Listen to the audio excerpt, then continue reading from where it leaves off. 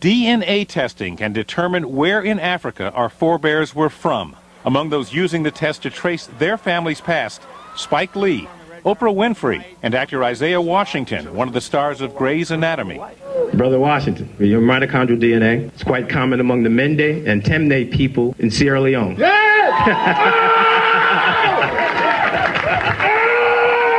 Oh! Oh! Trace their ancestry back to Africa, a history totally lost to them.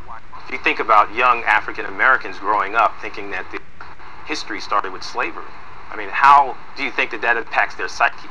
We went through slavery, we didn't start with slavery.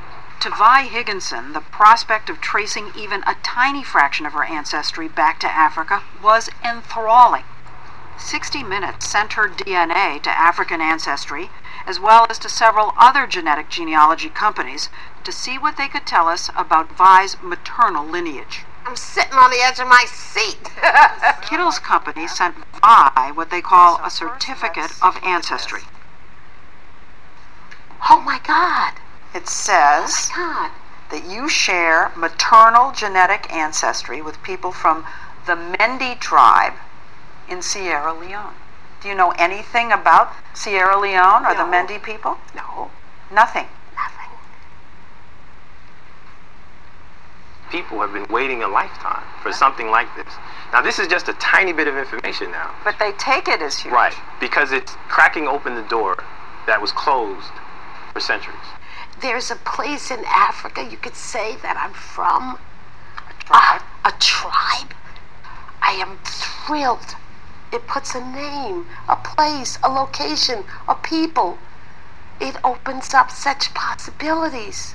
But the problem is, Sierra Leone wasn't the only answer Vi got.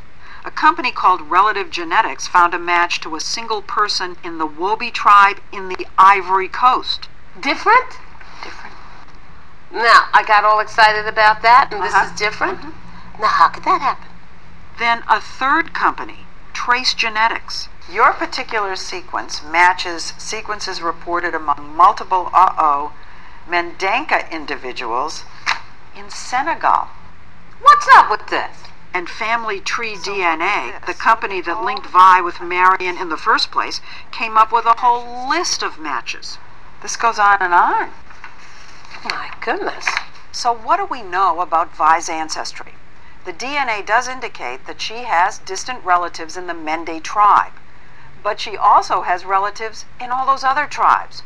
So, no one can say for sure where Vi's maternal ancestor actually came from. When I handed Vi the certificate, she got extremely emotional about it. She wept, and it meant so very much. People want to believe, They want to believe they've gotten an answer. and it's not fair of us to let them believe that we're giving them certain answers because scientifically, we just can't.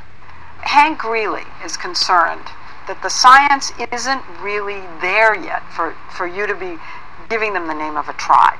I think for most companies, I, I would be concerned too. But what about your own company? We, we have He the didn't exclude you.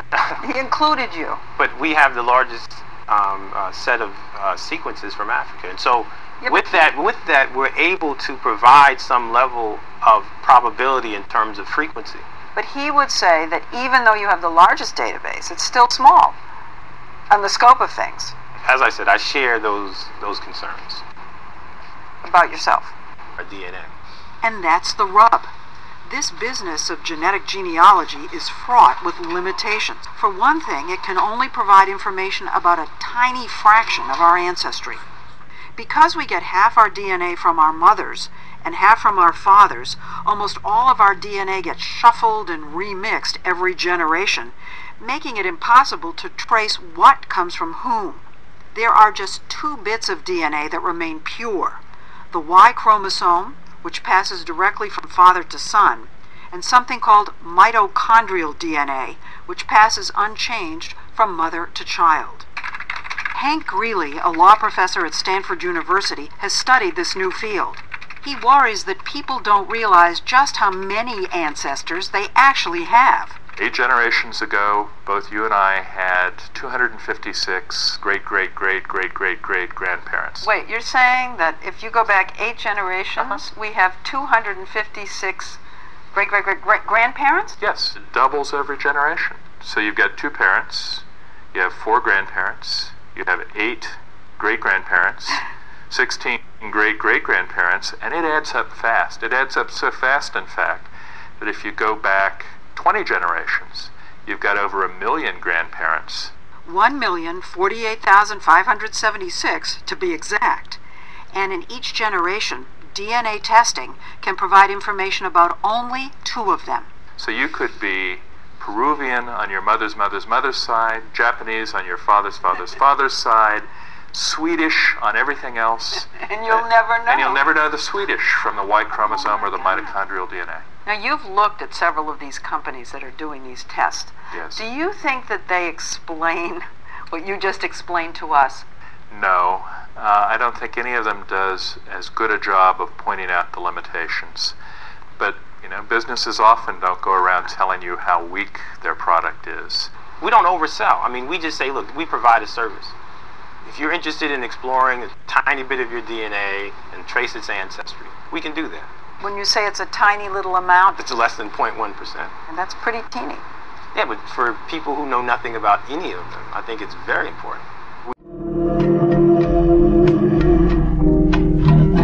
Good.